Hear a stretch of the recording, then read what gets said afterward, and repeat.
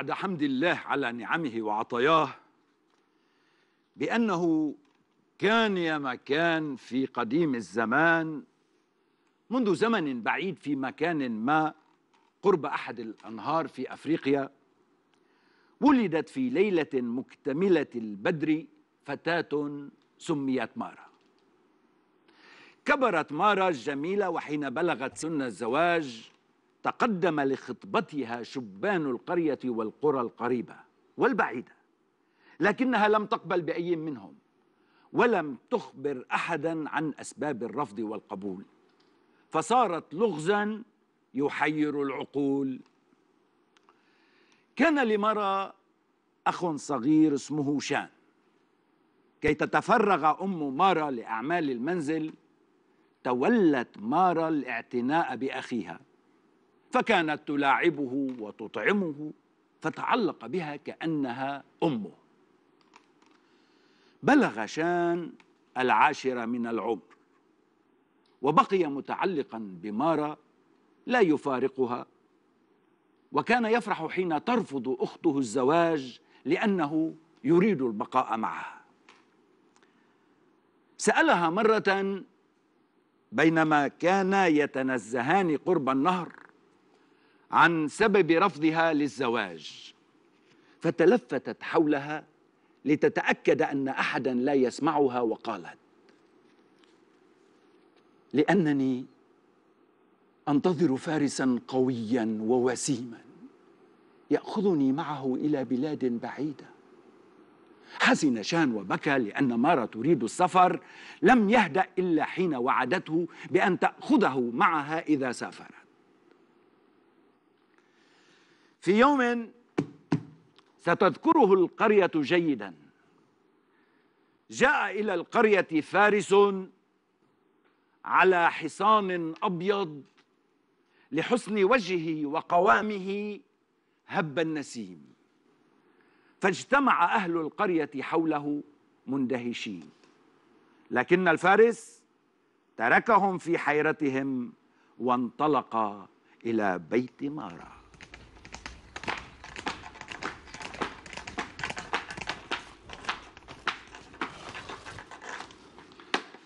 ولكن مارا التي كانت واقفة خلف الشباك أحبته قبل أن يتكلم. فقام هذا الفارس وربط حصانه بجانب الباب ونظر إلى الشباك ثم قال لمارا مارا لقد أحببتك قبل أن أراك. مارا لقد أنشدت لك الشعر قبل أن ألتقي بك. مارا انظري إلى هذا العقد عقد العاج فإني أهديه لك إن قبلت بي للزواج. وسوف آخذك إلى بلادي البعيدة بلاد النهر الأحمر. أما مارا فقد قبلت به عريسا فورا وفرح أهلها كثيرا لأنها قبلت أخيرا الزواج. أما الخاسر الأكبر فهو شان فقد عاش في حزن شديد وكبير.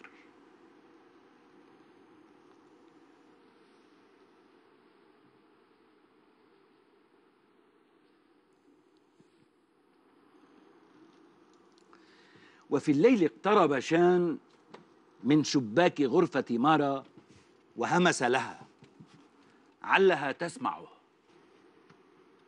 مارا مارا لا تتزوجي بهذا الفارس. قلبي يحدثني بأنه مخادع كذاب. ولكن مارا لم تسمع.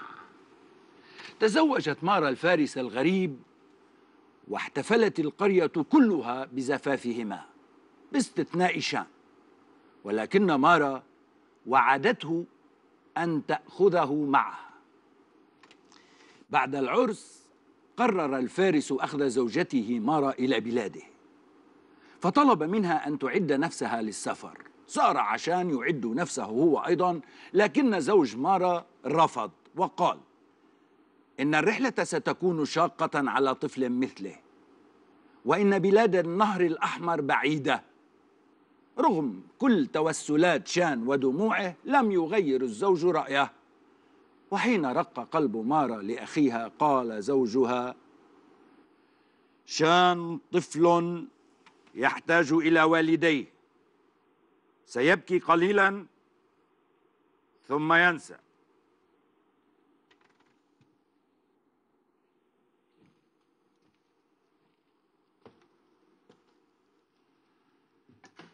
بعد أن تجهزا العروسان للرحيل فإن الفارس وعروسه ركبا على خيلهما وانطلقا إلى بلاد النهر الأحمر البعيدة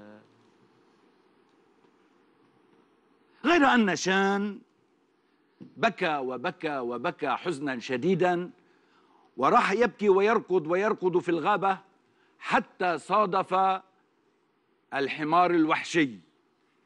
فقال له الحمار لماذا تبكي؟ فقال شان لأن أختي رحلت إلى بلاد النهر الأحمر. فقال حمار الوحش بلاد النهر الأحمر؟ سافرت في كل أفريقيا ولم أسمع ببلاد النهر الأحمر. إلا إذا كنت تقصد المستنقع الأحمر حيث يعيش التنين الشرير.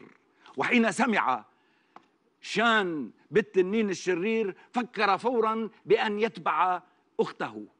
لكنه فكر بأن أخته ستعيده إلى المنزل. رغم ذلك فإنه قرر الذهاب وترك كل شيء خلفه. أما ما كان من مارا وزوجها فقد وصلا إلى بحيرة فطلب منها أن تستريح عند ضفتها ليذهب لإحضار الطعام. ما إن صارت مارا وحدها حتى حدث ما ليس في الحسبان. صارت مياه البحيرة حمراء وخرجت منها فقاقيع ساخنة ثم انطلق حيوان ضخم من قلبها. حاولت مارا الهرب ولكنه نفث الدخان في كل مكان حولها فاستنجدت مارا بزوجها ولكن هذا الحيوان قال ألم تعرفيني يا مارا الجميلة؟ أنا زوجك. حولت نفسي إلى فارس وسيم كي أنتقم منك. سألت مارا خائفة تنتقم مني؟ ولماذا؟ أنا لم أراك من قبل. فعلا. لماذا يريد هذا الحيوان الانتقام من مارا؟ فكروا في الموضوع. علكم تجدوا الجواب. وأنا أيضا سأسأل صندوق الفرجة.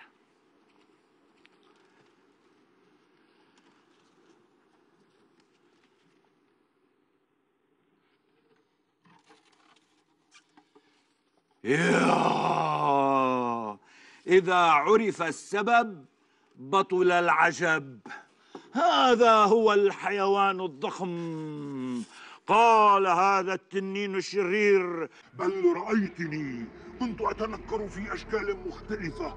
أتقدم لخطبتك وترفضينني ولكنني نجحت أخيرا وأوقعت بك.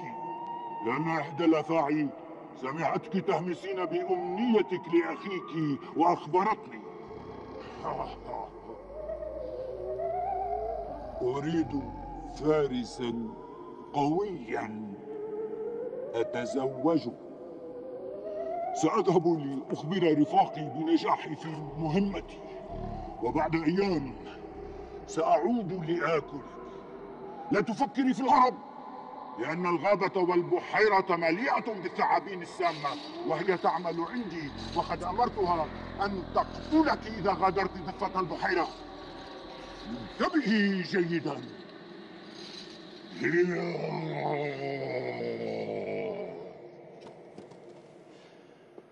اختفى التنين في البحيرة وعادت المياه راكدة. صارت مارا تصلي وتدعو الله أن ينقذها. ثم سمعت صوتا يناديها. مارا! مارا! التفتت إلى النبتة المزينة بالفراشات فوجدت شان يطل برأسه منها. احتضنت مارا أخاها وقبلته وشكرته لأنه تبعها. بعد البكاء والعتاب فكرت مارا وشان في طريقة للتخلص من التنين. ثم أقبلت الثعابين فاختبأ شان ومارا في نبتته كي لا تراه. وضعت الثعابين الفاكهة اللذيذة أمام مارا ورحلت فاستغربت الفتاة من تصرفها. مضت ثلاث ليال والتنين لم يظهر ومارا وشان لم يجدا طريقة للنجاة. أما الأفاعي فقد استمرت في إحضار الطعام واضطرت مارا وأخوها لأكل هذا الطعام لأنهما جائعين. في الليلة الرابعة بينما شان مختبئ خلف النبتة راح يصنع رماحا من الأغصان. سمع ثعبانا يقول لرفاقه هيا نجمع الفاكهة للفتاة كي تصبح سمينة لأن التنين يريد ذلك.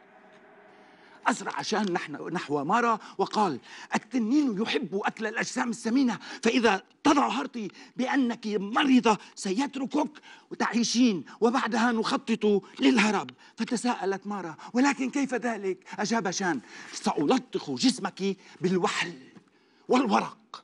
وحين يأتي التنين يجدك يجدك مريضة هزيلة فيتركك. ارتفعت حرارة مياه البحيرة وخرجت الفقاقيع الحارة فاختبأ شان وتمددت مارا مدعية المرض. خرج التنين من البحيرة ليأكل مارا فوجدها هزيلة مريضة فقال مهددا سأتركك يومين لتتعافي ثم أعود. بعد يومين تكرر الأمر فهددها التنين بأنه سيعود لاحقا وبقي يؤجل حتى حل الشتاء. وصارت الليالي باردة وشان يحضر رماحه. وذات ليلة مظلمة وباردة أيقظ شان أخته مر وقال هيا نهرب. الثعابين نائبة. نائمة تحت التراب بسبب البرد. حمل شان رماحه فوق ظهره ومشى مع أخته. فلنجهز هذا الرمح كما ينبغي. آه شان ممتاز. وفجأة ظهر التنين أمامهما. أصاب الرعب مارا وكادت تفقد وعيها لكن أخاها الصغير أخذ رماحه وثبتها في الأرض وأخذ رمحا وأطلقه باتجاه التنين. صاح التنين من الألم ووقع أرضا ولثقل وزنه لم يستطع أن ينهض. فركض الأخوان بسرعة ركضا ركضا ركضا وبعد ساعات وصلا إلى القرية وأخبرا الجميع بما جرى. صار شان بطل القرية الصغير. أما مارا فقد تزوجت شابا وسيما من شبان القرية المجاورة لقريتها وعاشت سعيدة وكانت كلما سافرت تأخذ شان معها.